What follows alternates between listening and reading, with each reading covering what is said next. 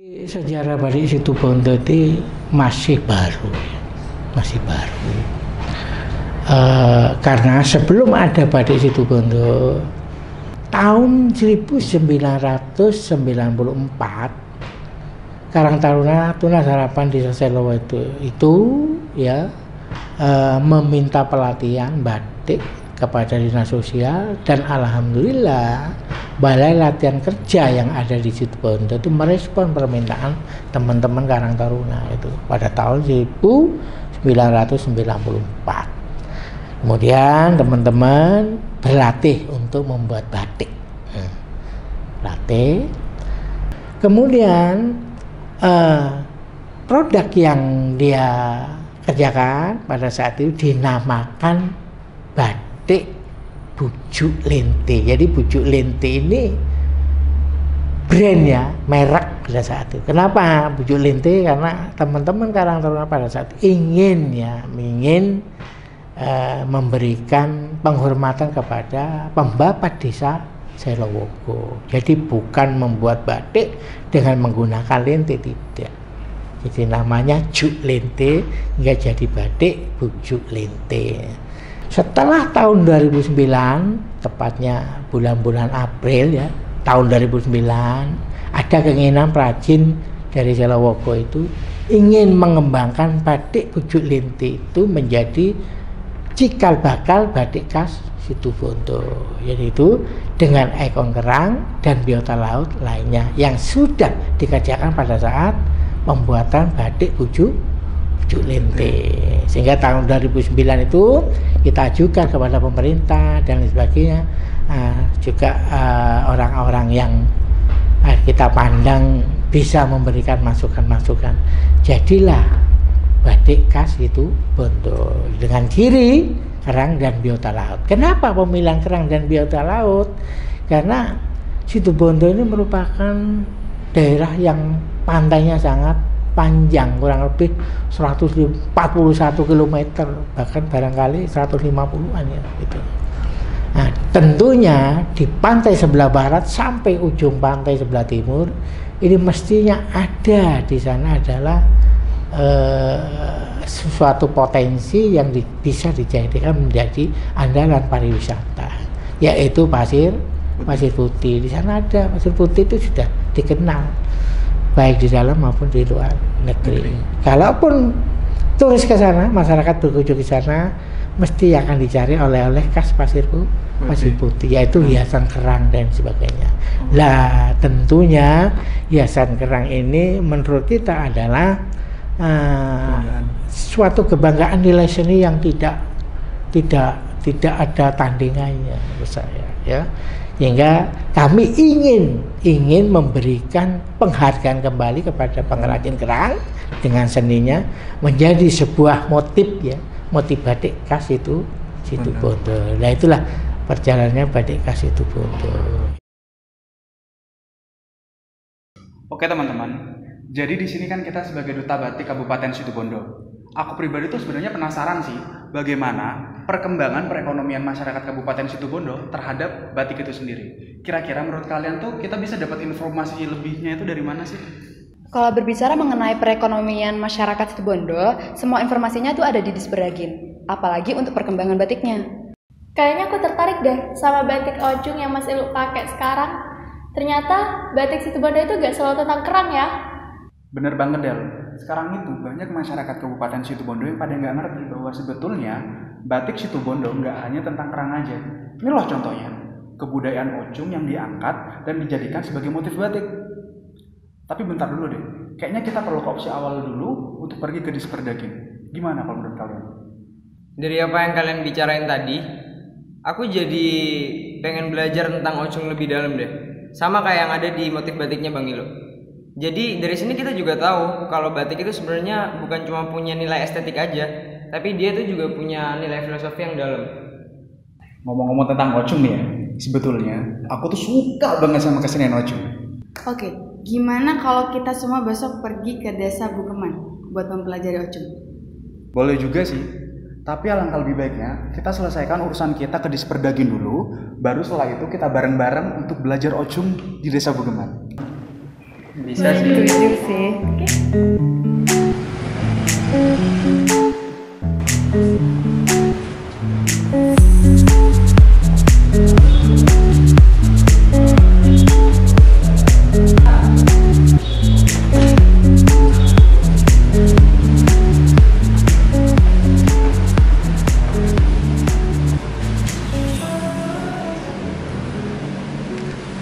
Baik Bapak, selamat pagi. Kami berdua dari Putra Putri Batik Kabupaten Situbondo. Sebelumnya mohon maaf kalau mengganggu aktivitas Bapak. Eh, kami di sini mau bertanya Pak untuk mengenai batik terutama eh, kenapa sih untuk Disperdagin ini semangat banget untuk mengembangkan batik Situbondo? Jadi begini, bahwa kita semua tahu bahwa batik itu adalah pakaian khas nasional. Dan itu secara nasional juga dikembangkan. Nah, bahwa kita bagian dari nasional, tentunya juga harus mengarah ke sana, mengembangkan batik sebagai eh, identitas konveksi khas daerah. Oleh karena itu eh, kita kemudian mempunyai karakteristik motif yang Anda tahu kita berbasis biota laut. Nah itu dalam rangka membentuk ikon, membentuk branding yang membedakan antara motif kita dengan motif batik dari wilayah yang. Nah terkait dengan itu maka di Sperdagin itu itu mengembangkan melalui program-program pelatihannya,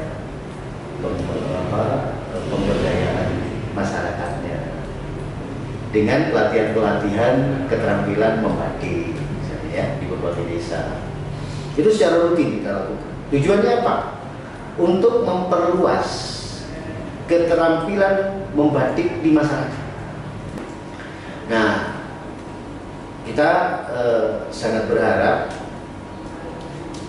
peran Disdagin ini kan kita sudah melakukan tadi saya bilang sudah banyak banyak melakukan eh, pelatihan-pelatihan membatik pada berbagai wilayah desa kemudian kelompok-kelompok masyarakat terus kemudian eh, kita juga menyelenggarakan putra pemilihan putra putri batik kemudian eh, memfasilitasi perdagangan batik melalui pameran melalui eh, event-event dan sebagainya.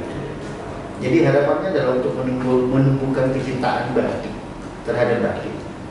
Baik bagi mereka yang eh, mencintai dalam perspektif eh, produksi maupun perspektif konsumsi. Jadi keduanya kita kita lakukan itu untuk mengupgrade ini, membentuk produksi dan membentuk konsumsi. Ketika kecintaan publik terhadap batik itu sudah mulai tinggi, maka secara otomatis sosialisasi batik khas Situbondo itu akan terjadi. Begitu?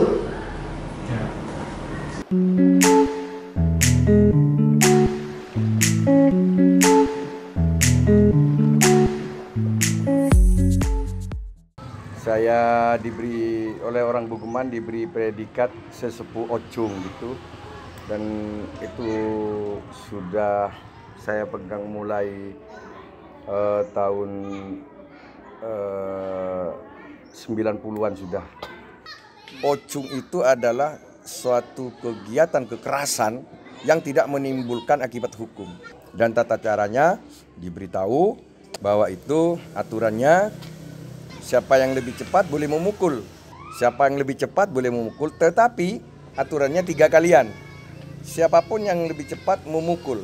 Kalau si A ini sudah mukul dua kali berarti tinggal sekali. Setelah itu si B yang mukul tiga kali. Kemudian harapan-harapan saya untuk ke depannya Ocung ini tetap lestari, jadi biar anak-anak cucu kita itu nanti bisa menyaksikan apa itu budaya Ocung, termasuk sejarahnya pembabatan desa Bugeman dan pembabatan desa Gendit, termasuk dukungan moral, dukungan anggaran dari pemerintah kabupaten, dari pemerintah desa sehingga Ocung ini ke depan lebih baik dan lebih terkenal ke mana-mana. Dan perlu diketahui Ocung sudah nih go internasional sudah. Banyak turis yang meneliti ke sini, wawancara dengan saya. Kira-kira begitu dari saya. Mohon maaf atas segala kekurangan. Wassalamualaikum warahmatullahi wabarakatuh. Selamat siang Ibu. Selamat siang. Kami dari Paguyuban Putra Putri Kabupaten Situbondo. Di sini kami ingin tahu Ibu, bagaimana sih proses pembuatan batik yang ada di tempat ini? Situbondo. Uh, sebelumnya saya mengucapkan selamat datang di tempat kami Maulana Batik Situbondo. Kalau kita bicara proses, proses batik itu banyak. Jadi tahapan-tahapan yang dilalui lalui itu banyak. Dan itu semua yang membedakan batik harga. Harga batik itu yang membedakan adalah proses. Terus sementara yang kalian lihat di sini ada apa namanya motif baluran. Motif baluran ini terinspirasi dari kekayaan alam yang kita punya di Situbondo yaitu savana Vanjavaya. Nah, savana Vanjavaya. Di situ ada dijelaskan dan mulai dari tumbuhan, hewan-hewan endemik seperti ada merak jawang, Kira-kira kalau di tempat ini sendiri kesulitan terbesar untuk membuat batik itu apa sih kan? Kalau kesulitan besar kita terbentuk dengan SDM. Masalahnya kenapa kalau kita terbentuk dengan SDM? Latar belakang kita kan memang bukan membatik. Jadi kita belajar. Membatik itu benar-benar belajar kita. Nggak ada yang namanya dari turunan. Jadi kalau dari Jawa itu biasanya udah dari nenek moyang mereka. Sementara kita itu belajar. Kalau dari segi peminat dari masyarakat sendiri gimana? Kalau peminat dari masyarakat sudah mulai lumayan. Jadi masyarakat sudah mulai menghargai apa itu warisan leluhur, yaitu batik. Mereka sudah mulai menghargai, eh, disukai oleh semua golongan. Jadi mulai golongan tua sampai dengan anak-anak muda. Kalau di tempat ini sendiri ada ini enggak dari khas motif tertentu enggak? Oh, ada pasti, ada ada. Ya, itu yang membedakan antara pembatik satu dengan lainnya. Kalau di tempat kami biasanya ada yang motif-motif melati seperti ini. Ya, jadi kalau di terus warnanya. Kalau di kami itu ada warna yang berseberangan. Jadi kontras-kontras gitu warnanya. Baik Ibu, dari batik yang saya tertarik untuk batik baluran tadi dari motifnya apa sih yang membuat ibu tertarik untuk membuat motif baluran? Karena di situ Bondo itu ada namanya hutan yaitu hutan baluran dan baluran itu disebutnya oleh mereka-mereka itu savana Panjapa. Di baluran itu lengkap ada pantainya, ada hutannya gitu kan. Oke Bu, berarti masukan dari Ibu dan penjelasan dari Ibu tuh jelas banget sih. Kalau menurut kamu gimana sih Pak? Uh, jadi ibu ini mau meningkatkan apa ya pemberitahuan menginformasikan untuk masyarakat luas uh, atas kearifan lokal yang ada di Situbondo. Gitu ya Bu? Iya, iya. Benar sih, dan aku tertarik banget nih sama batik yang ada di sini dengan tema baluran. Benar, benar banget. Kamu tahu nggak sih baluran itu di mana? Itu banget Iya, kan iya. tempatnya. Di situ Bondo bagian timur ya, uh, perbatasan antara situ Bondo Banyuwangi. Banyuwangi ya. Gimana tuh kita ke sana? Boleh sih. Kayaknya ba- bagus banget deh baluran untuk dieksplor. Apalagi kan di batik ini udah jelas banget tuh fauna-fauna ada di situ. Kayaknya kita bakal ketemu juga deh di sana. Dengan beberapa hewan yang ada di motif batik ini nggak sih? Yes. Benar. Oke, kita balik dulu ya. Mbak Farah, Mas Lukman. Mas Lukman, terima Ya, kasih. terima kasih banyak. Terima kasih ya, Mbak. Titip salam untuk teman-teman yang lain. Siap. Siap disampaikan Ibu. Ya, Mbak Farah, Mas Lukman, terima kasih.